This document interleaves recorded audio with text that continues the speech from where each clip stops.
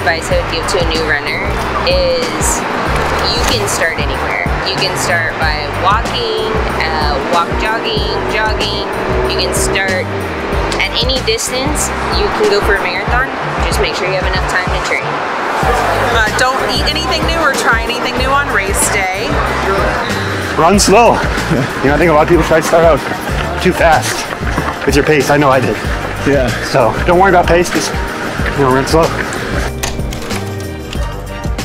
So it's really hard to get out of bed at five something in the morning By yourself. By yourself.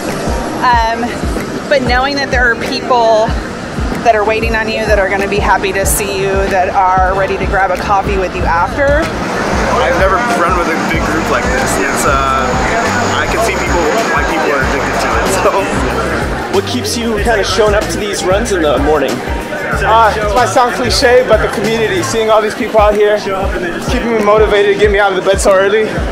But then just to get my run in, then get started with my day. Just it's a good flow for me. So when I started running, um, it didn't come naturally to me to join running groups. I was kind of scared about the pace. I was scared about who would show up. I was just um, unsecure, and so what got me into it was just the habit of lacing up my shoes or like setting out my clothes the night before.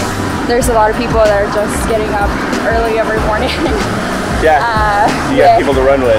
yeah, so that's the fun part of it. there's a lot of running gear that I love uh, but if anybody knows me I'm like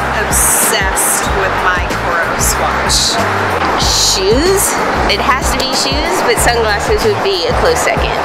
my Karhu Fusions, uh, one of the best shoes I've ever had in my life. Definitely a good pair of running shoes. Uh, right now I'm really enjoying the Asics Novablast 3s. Uh, can't go wrong with that shoe.